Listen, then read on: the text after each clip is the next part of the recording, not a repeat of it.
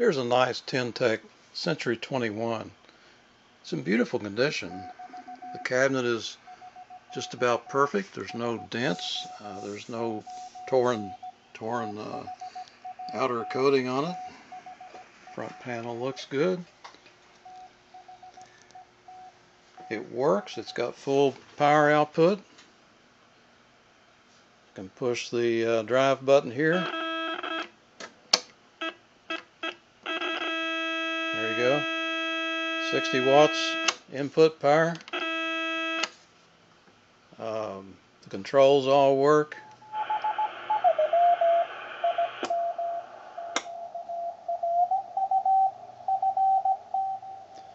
It seems to work fine on every band. There's only one problem, and that it may be a deal breaker for some, but there is a gear missing behind the knob here. and therefore, since that gear is missing, the the tuning indicator turns with the knob. There's no reduction.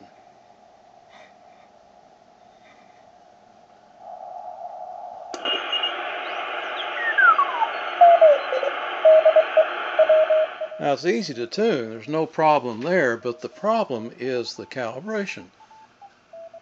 There just isn't any.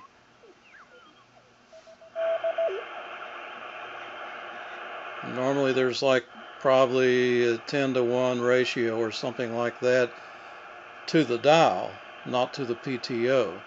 So the tuning feels normal.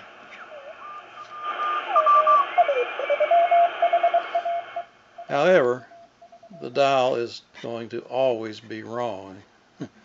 so uh, I'm going to leave that to somebody to figure out where and how to get the, the gear and put it back in here.